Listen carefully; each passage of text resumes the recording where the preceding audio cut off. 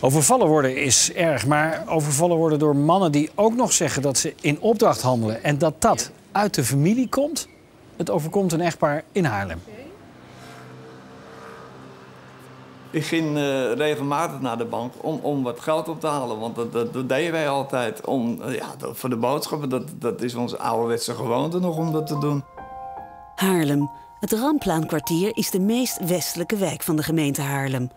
Daar, aan het Marcelis Vaartpad, staat tussen de weilanden en de eeuwenoude bollevelden een uniek vroeg 18e eeuws huis. Er woont een echtpaar waarvan de man is gepensioneerd. Hun dochters zijn er opgegroeid. Ik woon hier al uh, 47 jaar. En uh, nou ja, het is een hele mooie steek natuurlijk in Haarlem. Lekker rustig afgelegen. En uh, ja, we genieten er wel van. We wonen echt met plezier hier. Hoi, was je dan weer? Ruim op. Het geluk? Ja. Ja?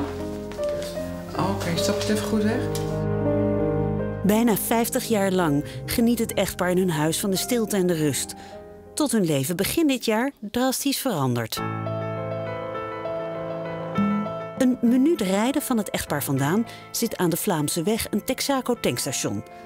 Beveiligingscamera's van het tankstation volgen na elkaar een donkere personenauto die op zaterdagmorgen 19 januari om ongeveer tien over half acht door de sneeuw komt langsgereden en verdwijnt in de richting van het huis van het echtpaar.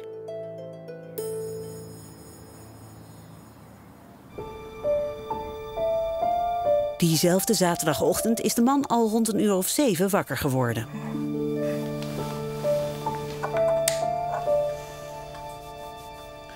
Maar lekker liggen, schat. Ik ga de boodschappen wel doen. Oké. Zaterdagochtends ga ik altijd uh, boodschappen doen en dan ga ik brood halen en dit en dat.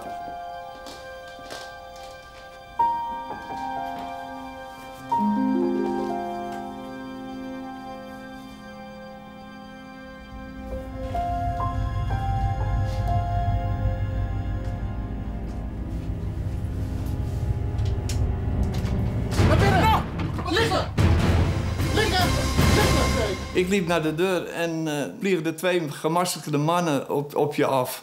En die probeer je naar binnen te douwen. En dan val je op de grond. En dan staan ze op je hoofd te slaan en alles. Met, het leek wel een hamer of zo. En dan, nou ja, het bloed liep langs mijn gezicht. Nee! Opstaan! Kom, opstaan! Opstaan! Opstaan! Ja! Lopen, lopen! Op een gegeven moment voelde ik het bloed langs mijn hoofd lopen. Ik denk, nou, ze, ze slaan me dood. Dat dacht ik. Kom! Kom! Hey, ik bloed helemaal. Hey. Oké, okay, hup! Ja, ja. Oké, okay, nu komen. Ja, ja. Maar weet je van de familie dat ja, het gaat. Dus kom op! Ja. Lopen! Ja. Kom! Kom! We weten dat het koud is.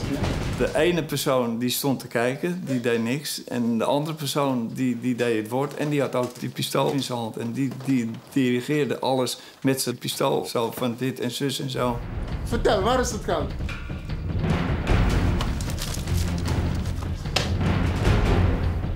We weten dat het koud is van de familie. Schatje, geef ze het spaargeld maar van ons.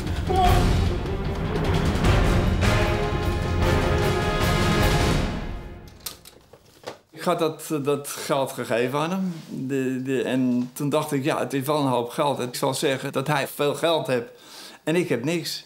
En toen, uit zijn eigen, ja, ik stond er versteld van, gooi die een envelopje terug. Teken. Ik zeg, maar alsjeblieft niet inteken. Ik kan niet tegen, ik krijg het er benauwd van. Kom ik, zal, ik zal niet de politie bellen. Kom maar, we gaan.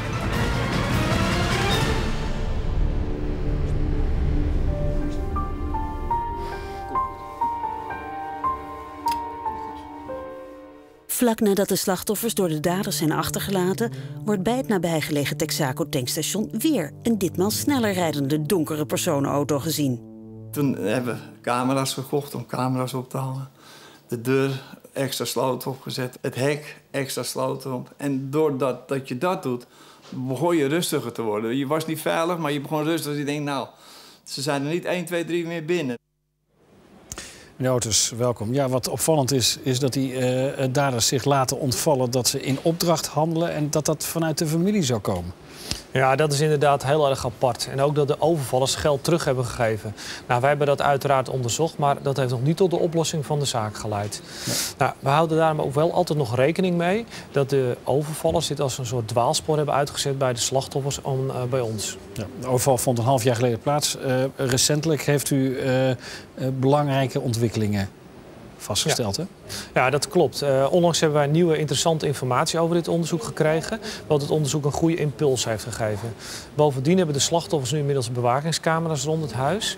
En wij zijn nu beelden aan het analyseren, omdat daaruit bleek dat op uh, zaterdag 27 april uh, tot zondag 28 april mogelijk een poging tot inbraak bij de woning van de slachtoffers is geweest. Mm -hmm. nou, wij weten niet of die twee zaken met elkaar te maken hebben. Maar we hopen om daar vanavond aan de tips van de kijkers daar meer over te weten te komen. Nou, daar gaan we u bij helpen. Um, een belangrijk spoor naar de daders is mogelijk de uh, auto die gefilmd is bij het tankstation vlak bij het huis van het slachtoffer.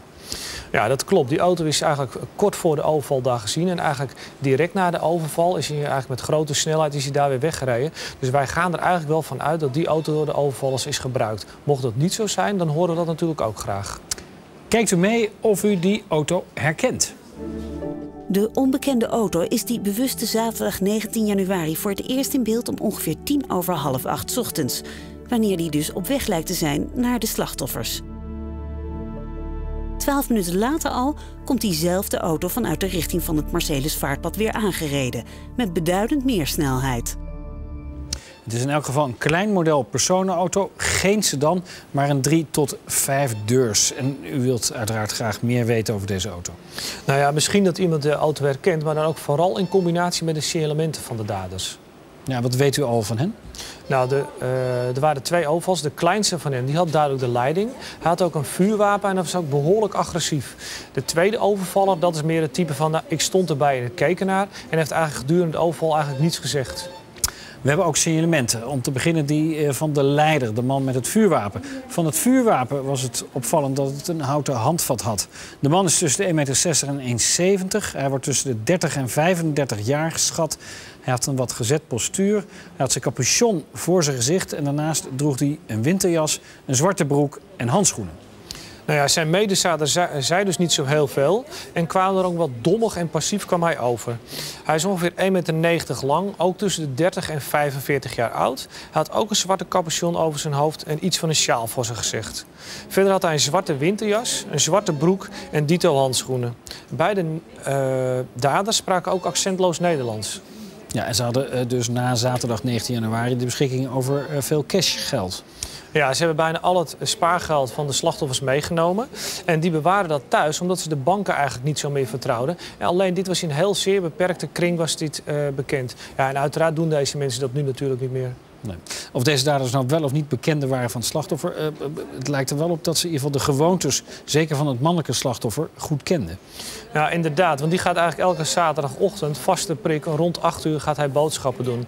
Nou, en als dat zo is, uh, dan, en het klopt dat de daders in de auto zaten die gefilmd is bij het Texaco tankstation aan de Haarlemse Vlaamse weg, dan hebben zij dat waarschijnlijk ook geweten.